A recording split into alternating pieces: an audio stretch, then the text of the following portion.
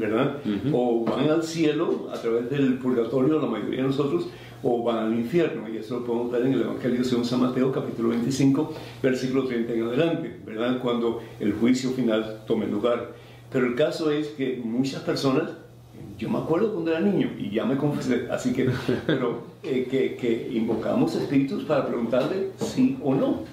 Y supuestamente la Ouija nos decía, ¿verdad? Sí, sí, hay que tener ah. cuidado también. O sea, no, no es un espíritu. O sea, el, la, la, iglesia cree en el alma, ¿verdad? Somos seres eh, que, que, tenemos un alma, el alma es el principio de vida. Cuando empezamos a hablar de espíritu, porque de hecho que en esta conferencia y, y en, el, en, el, espiritismo, en el vudú, es todo, es todo lo mismo más o menos, y el padre Pedro ya señaló de, de dónde viene, de dónde proviene, es un sincretismo entre la religión y, y, y las cuestiones, ¿verdad?, que ya son del, del mundo más oculto, oscuro, ¿verdad?, de las cosas del demonio también. Entonces, eh, es interesante que, por ejemplo, el tener un espíritu, el poseer un espíritu, es una de las cosas que piden estas personas que le entre un espíritu. Sobre todo en santería. Eh, claro, y sí, entonces eh, lo que no nos damos cuenta es que, primero, que eso va en contra de lo que creemos, ¿no? O sea, que los espíritus no pueden entrar de esa manera de estar dentro de uno, de, o sea, que uno es alma y cuerpo y, y nuestra alma eh, es, eh, no, no, muere, ¿no? no perece.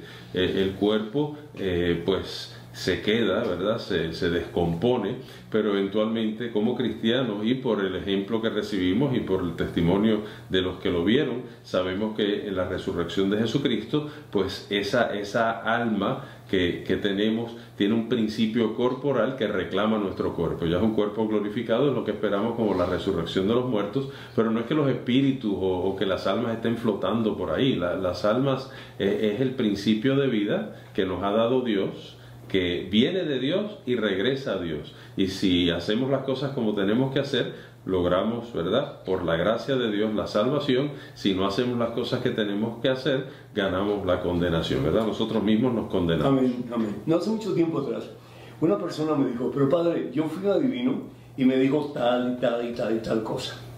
Y todo lo que me dijo era cierto. ¿Qué poder tiene esta gente para adivinar el futuro si es que lo tiene y de quién viene ese poder. Obviamente el, maligno no tiene un poder absoluto, o sea que el maligno no está por encima de Dios, estamos hablando del demonio. A mí me gusta, por ejemplo, el Papa Francisco habla mucho del demonio, ¿no? Eh, y pues la teología obviamente, y el catecismo menciona al demonio, eh, las fuerzas del mal sí tienen fuerzas no superiores a las de Dios, pero le damos oportunidad. Por ejemplo, en este tipo de realidad del, del vudú, del espiritismo, la santería, estamos dándole permiso a, a posiblemente eh, esas fuerzas del mal a que obren en nosotros, pero yo a mí siempre me gusta la comparación, el demonio ya está capturado, ¿no? Eh, yo me acuerdo cuando yo era chiquito, íbamos con mi papá, nos invitaban amigos a pescar, no se me olvida eh, la primera vez que pescamos un marlin, ¿Así? en, en, agua, en agua profunda, ¿no? En el Wow. Caribe. Y, y eso es impresionante porque el pescado ese es enorme primero, Claro. cuando sale está volando casi, ¿verdad? Sale disparado del agua y uno lo ve en la distancia, pero poquito a poco lo va trayendo, lo va trayendo. Y no se me olvida ¿Y cuando... la fuerza para sacarlo? Bueno, yo no lo, yo era chiquito, yo lo Ah. veía, pero los hombres que estaban, mi papá y otros hombres, ellos lo, lo iban atrayendo al, al barco, ¿no?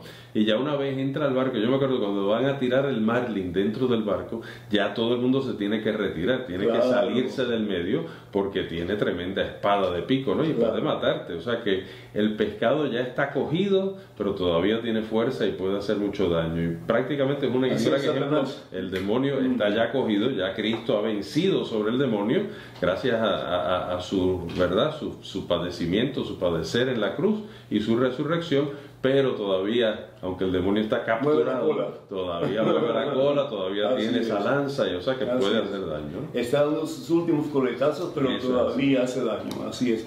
Hablando del poder de Satanás, dice aquí la palabra de Dios que Dios le da cierto poder a Satanás para tentar a Job. Estoy leyendo el libro de Job y dice precisamente eso, es decir, Satanás tiene cierto poder, Ujú. pero quien tiene todo el poder es Jesucristo, es Dios. Amén. Entonces, yo creo firmemente, no sé tú, pero yo creo